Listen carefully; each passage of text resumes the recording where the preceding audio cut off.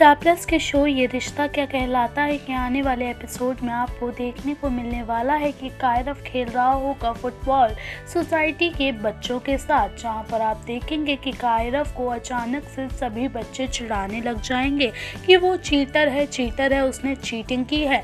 वहीं नायरा और रितिमा दोनों ये सब देख रही होंगी। वहीं कायरव रोता हुआ घर वापस आ जाएगा तो आप देखेंगे कि नायरा को ये बर्दाश्त नहीं होगा और नायरा पहुँच जाएगी उन बच्चों के पास और उनके साथ खेलने लगेगी फुटबॉल, जहाँ पर आप देखेंगे कि कैसे उन बच्चों से नायरा कहती नज़र आएगी कि तुम्हें शर्म नहीं आती, तुम इतने छोटे बच्चे को ऐसे सता रहे थे, तुम बड़े हो, फिर भी तुम लोग ऐसे कर रहे थे। वहीं वो बच्चे नायरा को सॉरी बोलते नज़र आएँगे, जहाँ नायरा कहे कि, सॉरी मुझे नहीं, बल्कि उस बच्चे को बोलो जिसका तुमने दिल दुखाया है। कायरव के पास पहुँचेंगे सारे बच्चे और उसे सॉरी कहते नज़र आएँगे। और उससे पूछेंगे कि उसने फुटबॉल खेलना किससे सीखा?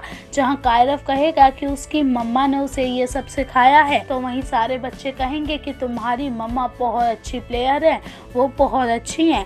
वहीं नायरा ये सब छुपके छुपके सुन रही होगी और कायरव को भी काफ़ी प्राउड महसूस होगा। अब देखना काफ़ी इंटरेस्टिंग है कि शो में आगे क्या होने वाला है। जानने के लिए बने रहिए हमारे साथ और साथ ही साथ सब्सक्राइब कर लें हमारा चैनल